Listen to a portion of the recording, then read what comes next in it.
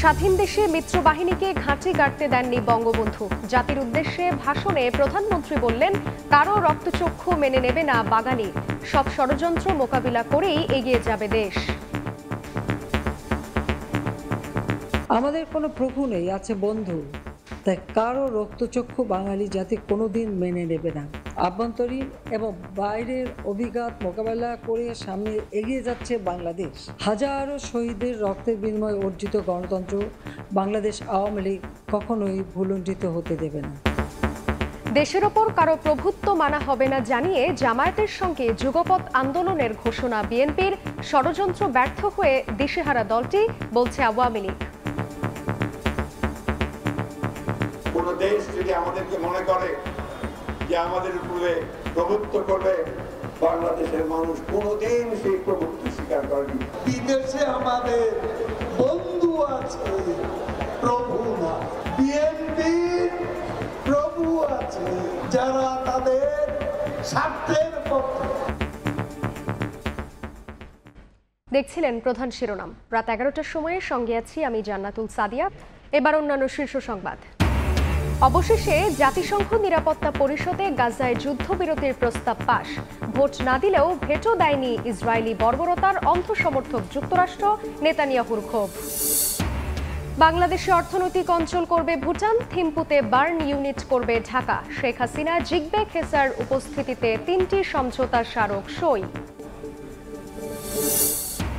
আবারও লাগামহীন পেঁয়াজের বাজার। দুই দিনে কেজিতে বাড়ল বিশ টাকা। বারবার হুঁশিয়ারি দিয়েই খালাস ভোক্তা অধিকার। ঈদের আগে উচ্ছেদ আতঙ্কে রাজধানীর চার লাখ হকার। দাবি, ব্যবসা নয়, বন্ধ হোক চাঁদাবাজি। অভিযান চলবে, সাফ জানালো পুলিশ।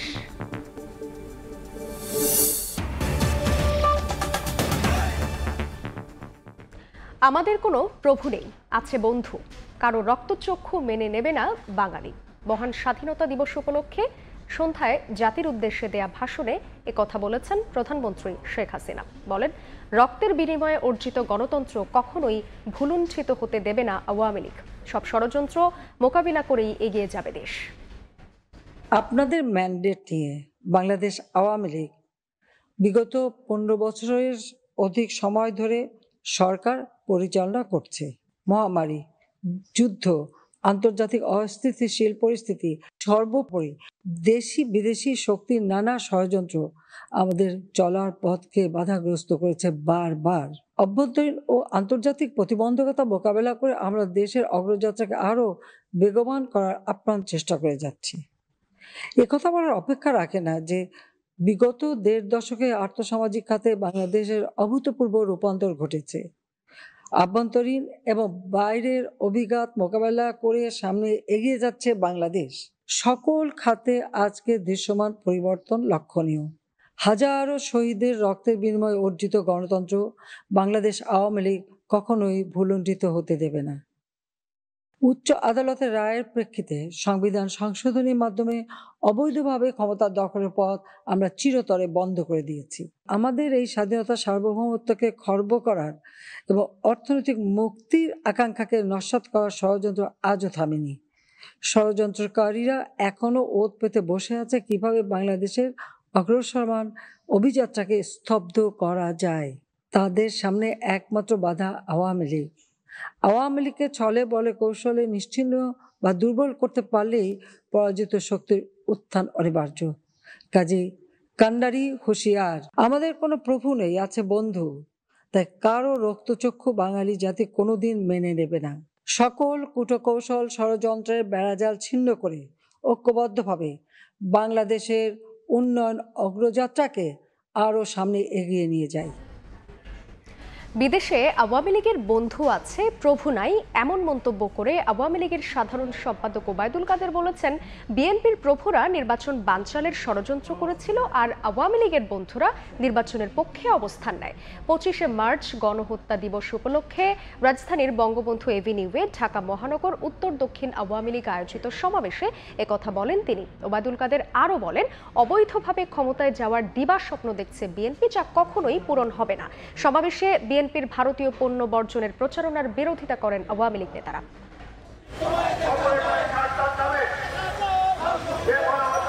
উনিশশো একাত্তরের পঁচিশ মার্চ, কাল রাতের সেই নৃশংস গণহত্যার আন্তর্জাতিক স্বীকৃতি মেলেনি তেপ্পান্ন বছরেও। আন্তর্জাতিক স্বীকৃতির দাবি নিয়ে আওয়ামী লীগের সমাবেশে নেতারা অভিযোগ করেন, বঙ্গবন্ধু হত্যার পর স্বাধীনতা বিরোধী শক্তির অপতৎপরতায় বিশ্বমঞ্চে স্বীকৃতির দাবি প্রতিষ্ঠা করতে পারেনি বাংলাদেশ। পররাষ্ট্রমন্ত্রী জানান, আন্তর্জাতিক স্বীকৃতি পেতে রোডম্যাপ করে কাজ করছে সরকার। আমাদের গণহত্যার স্বীকৃতি না পাওয়ার পেছনে অন্যতম প্রধান কারণ হচ্ছে স্বাধীনতা বিরোধী অপশক্তি। সেই পাকিস্তানের প্রেতাত্মারা যারা বাংলাদেশের রাজনীতিতে বিষদর সাপ এদেরকে রাজনীতি থেকে বিতাড়িত করি তাহলে সত্যিকার ভাবে মুক্তিযুদ্ধের শহীদদের প্রতি সম্মান জানানো হবে। সোমবার দুপুর থেকে মহানগর উত্তর ও দক্ষিণের নেতাকর্মীরা মিছিল নিয়ে বঙ্গবন্ধু অ্যাভিনিউতে সমাবেশে যোগ দেন। এ সময় মঞ্চে হাত নেড়ে শুভেচ্ছা জানান সাধারণ সম্পাদক ওবায়দুল কাদের। প্রধান অতিথির বক্তব্যে তিনি বলেন ক্ষমতায় যাওয়ার দিবা স্বপ্ন দেখছে বিএনপি। বিদেশে আমাদের বন্ধু আছে প্রভু না। বিএনপির প্রভু আছে যারা তাদের স্বার্থের পক্ষে ওকালতি করে। ভারত বিরোধী ডাক প্রসঙ্গে ওবায়দুল কাদের বলেন বিএনপি নেতাদের ঘর খুঁজলেই ভারতীয় পণ্য পাওয়া যাবে। রিজভির মতো মাথা গরম করলে মির্জা ফখরুলকে হাটে হাড়ি ভেঙে দেওয়ার হুমকি দেন তিনি। আপনিও মতো মাথা গরম করবেন না। বেশি কথা বললে আমরা হাটে হাড়ি ভেঙে দেব। বিএনপির লোকদের রান্নাঘরে যা যা ব্যবহার করে এর মধ্যে ভারতীয় পণ্য কোনটা কোনটা? ভুয়া মুক্তিযোদ্ধা নিয়ে বিএনপি মুক্তিযোদ্ধা সমাবেশ করেছে। অভিযোগ করে মির্জা ফখরুল কোথায় মুক্তিযুদ্ধে অংশ নিয়েছেন সে প্রশ্ন ছুড়ে দেন আওয়ামী লীগ সাধারণ সম্পাদক। একাত্তরে আপনি কোথায় ছিলেন? সানবীর রূপল সময় সংবাদ ঢাকা। মুক্তিযোদ্ধা সমাবেশেও ভারত বিরোধিতায় বিএনপি নেতারা পাঁচ মাস পর নয়াপল্টনে কর্মসূচিতে ফিরে দলটির মহাসচিব বললেন ভারতীয় পণ্য বর্জনের ডাকে গায়ে জ্বালা ধরেছে আওয়ামী লীগের। যদি কোনো দেশ মনে করে বাংলাদেশের ওপর প্রভুত্ব করবে জনগণ তা মেনে নেবে না। স্বাধীনতা দিবস উপলক্ষে নয়াপল্টনে কেন্দ্রীয় কার্যালয়ের সামনে বিএনপির মুক্তিযোদ্ধা সমাবেশ। দেশের বিভিন্ন জেলা থেকে আসা মুক্তিযোদ্ধাদের পাশাপাশি সমাবেশে অংশ নেন দলটির সহযোগী সংগঠনের নেতাকর্মীরাও। ফুটপাতের ওপর মঞ্চ বানিয়ে পুলিশ বেষ্টনীর মধ্যেই সমাবেশে বক্তব্য দেন নেতারা। বলেন আওয়ামী লীগ কখনো গণতন্ত্রের চেতনায় বিশ্বাস করে না। চলমান গণতান্ত্রিক আন্দোলন কখনো ব্যর্থ হবে না বলেও মন্তব্য করেন তারা। যেহেতু ভারতীয় পণ্য বর্জন করার কথা বলার জন্য আপনার গায়ে জ্বালা শুরু হয়েছে। আজকে দেশ আপনাদেরকে আহ্বান জানাচ্ছে। দেশের ডাকে, জনগণের ডাকে, আপনার মা বোনের ইজ্জত রক্ষার্থে রাজপথে নেমে আসেন। বেগম খালেদা জিয়া এখনও জীবিত আছেন। তার নেতৃত্বে এই সংগ্রাম পরিচালিত হবে। পনেরো বছর ধরে চলা আন্দোলন নেতাকর্মীদের ওপর নির্যাতন নির্বাচন সামগ্রিক নানা বিষয়ে আবেগ ঘন বক্তব্য দেন বিএনপির মহাসচিব মির্জা ফখরুল ইসলাম আলমগীর। একশো আটচল্লিশ দিন পর রাজপথে ফিরে বলেন ভোটের অধিকার লুণ্ঠনকারী আওয়ামী লীগের দেশ চালানোর কোনো অধিকার নেই। এদের কোনো নৈতিক অধিকার নেই। এদের কোনো শাসনতান্ত্রিক সাংবিধানিক অধিকার নেই। এই চেয়ারগুলোতে বসে থাকার বা এই শাসন গোষ্ঠী চেয়ারে বসে থাকার ছদ্মবেশী গণতন্ত্র রেখে কথা বলে মুখে কাজে একটা একদলীয় শাসন ব্যবস্থা চাপিয়ে দিচ্ছে। ভারতকে ইঙ্গিত করে মির্জা ফখরুল বলেন বাংলাদেশের জনগণ কোনো দেশের প্রভুত্ব মেনে নেবে না। আর কোন দেশ যদি আমাদেরকে মনে করে যে আমাদের উপরে প্রভুত্ব করবে বাংলাদেশের মানুষ কোনোদিন সেই প্রভুত্ব স্বীকার করেনি। মোগল আমলেও করেনি ব্রিটিশ আমলেও করেনি পাকিস্তান আমারও করেনি এখনও করবে না বন্ধুগণ। পুলিশের হুইসেল সাউন্ড গ্রেনেডে রাজপথ না ছাড়ার মানসিকতা নিয়ে নেতাকর্মী সহ সর্বস্তরের মানুষকে রাজপথে নেমে আসার আহ্বান জানান মির্জা ফখরুল ইসলাম আলমগীর। আফজাল হোসেন সময় সংবাদ ঢাকা। আবারও প্রকাশ ছিল বিএনপি জামায়াত সম্পর্ক। জামায়াতের আমিরের সঙ্গে হাসি মুখে এক টেবিলে বসলেন বিএনপির স্থায়ী কমিটির চার সদস্য।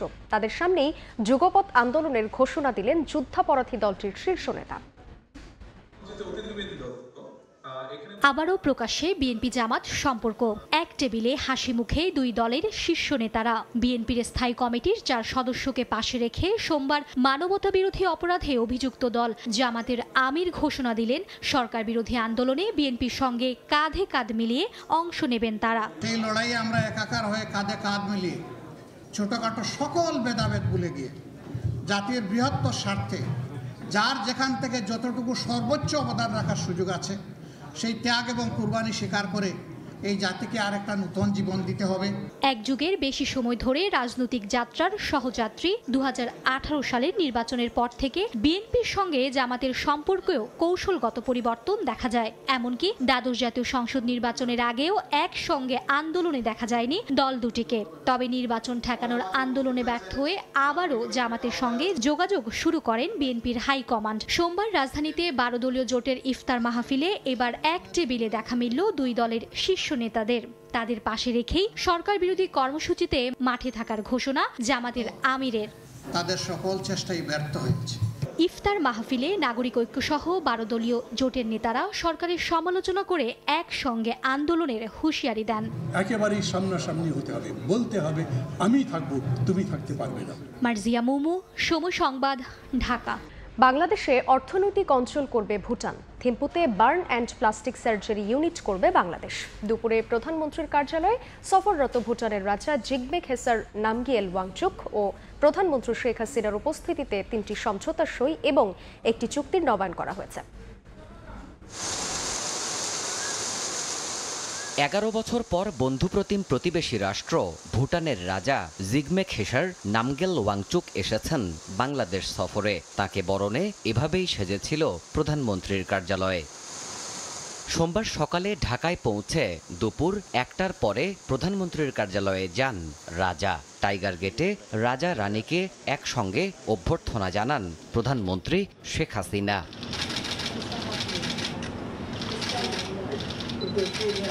এরপর আনুষ্ঠানিকভাবে দুই শীর্ষ নেতা একান্ত বৈঠক করেন। এ সময় উপস্থিত ছিলেন রানী জেতসুন পেমাও। দুই দেশের প্রতিনিধিদের নিয়ে শীর্ষ বৈঠক শেষে কূটনৈতিক দলিল স্বাক্ষরের আনুষ্ঠানিকতায় যোগ দেন প্রধানমন্ত্রী ও রাজা। দুই নেতার উপস্থিতিতে তিনটি সমঝোতা সই এবং পুরনো একটি চুক্তির নবায়ন করা হয়।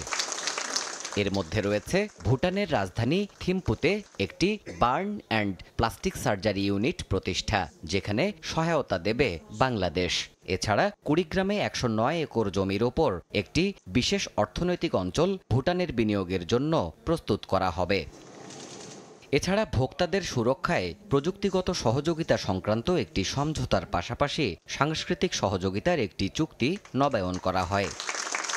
রাজার এবারের সফরে জলবিদ্যুৎ আমদানি সংক্রান্ত চুক্তি নিয়ে জোর আলোচনা থাকলেও এটি চূড়ান্ত হতে আরও সময় লাগবে বলে জানা গেছে পররাষ্ট্র মন্ত্রণালয় সূত্রে। দেবাশিস রায়, সময় সংবাদ, ঢাকা।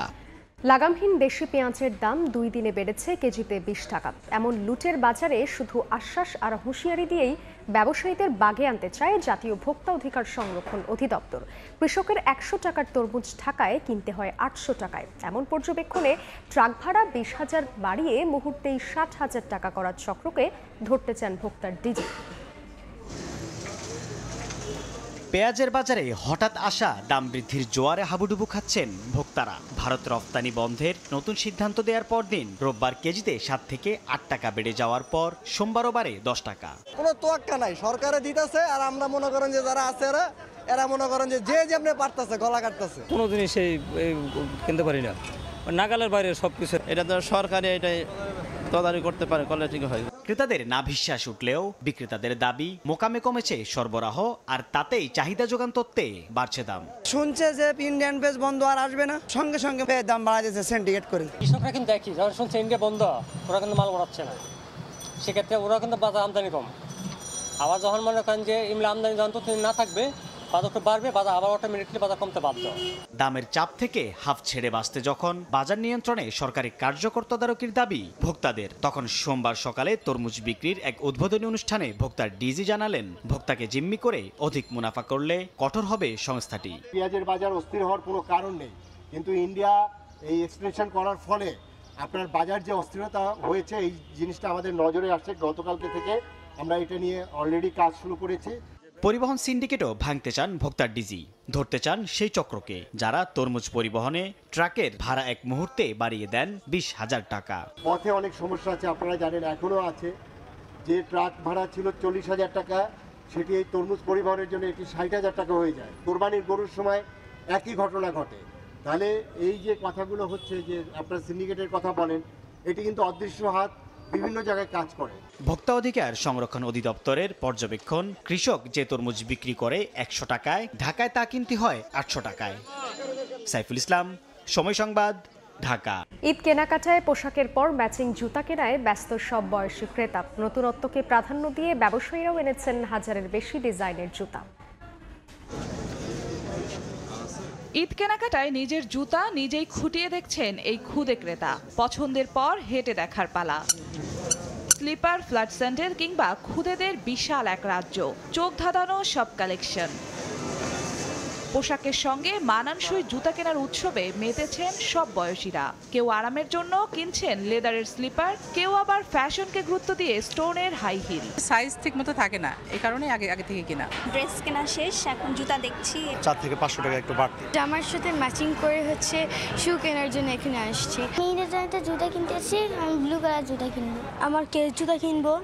সব ধরনের দোকানেই জমজমাট ভাব। কেউ বলছেন নতুন ডিজাইন এসেছে এক হাজারের বেশি কেউ থামছেন বিশ থেকে পঁচিশটিতে। আমাদের প্রায় পঁচিশের উপর ডিজাইন নিয়ে আসছে পঁচিশ হাজার টাকা পর্যন্ত প্রোডাক্ট রেঞ্জ নিয়ে আসছি একটু ফ্যাশনেবল সফট ওয়েটলেস এই ধরনের জুতাগুলো একটু বেশি চলতেছে লেডিসটা দুইশো থেকে তিনশো চারশো টাকার মধ্যে এরকম বেড়ে গেছে।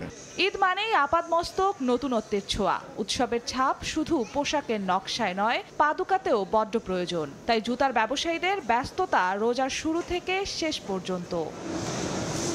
জিনাতারা যশোয়া সময় সংবাদ, ঢাকা। সোমবার বিক্রি হয়েছে রেলের চার এপ্রিলের তেত্রিশ হাজার আগাম টিকিট। বরাবরের মতো অনলাইনে টিকিট না পেয়ে কাউন্টারে ছুটে আসেন অনেকে। সকালের শিফটে পশ্চিমাঞ্চলের উনিশটি, আন্তনগর ট্রেন এবং বিকেলের শিফটে পূর্বাঞ্চলের তেইশটি ট্রেনের টিকিট বিক্রি করে রেলওয়ে।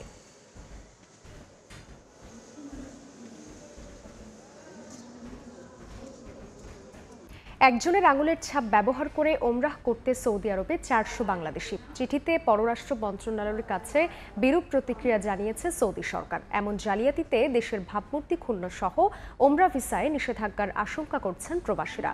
সৌদি আরব থেকে আরিফুর রহমানের রিপোর্ট। পবিত্র মক্কা ও মদিনায় আগতদের জন্য সৌদি সরকার ভিসা ব্যবস্থা সহজ করার ফলে সারা বিশ্ব থেকে লাখ লাখ মুসলমান সৌদি আরবে ওমরা পালনের জন্য আসেন। শুধুমাত্র হাতের আঙ্গুলের ছাপ ব্যবহার করে ওমরা পালনের জন্য দেওয়া হয় ভিসা। এই ব্যবস্থার ফলে কোনো ধরনের দালাল ছাড়াই ভিসা পেয়ে উপকৃত হচ্ছেন মানুষ।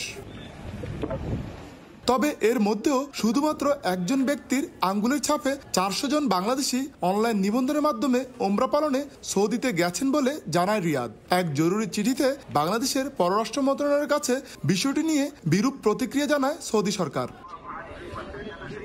এই ঘটনায় বিস্ময় প্রকাশ করেছে সৌদি আরবে বসবাসরত প্রবাসীরা। তারা বলছেন এমন ন্যাক্কারজনক কর্মকাণ্ডের ফলে ভবিষ্যতে বাংলাদেশিরা সৌদি সরকারের বিরাগ বাজন হতে পারে। এমনকি ওমরা ভিসা প্রদানেও নিষেধাজ্ঞা আসতে পারে বলে শঙ্কা প্রকাশ করা হয়। জালিয়াতির ঘটনা ঘটেছে এটা আসলে আমি খুবই মর্মাহত যে এই ধরনের ঘটনা যেন পুনরাবৃত্তি না ঘটে আমি আসলে জোর আহ্বান জানাচ্ছি।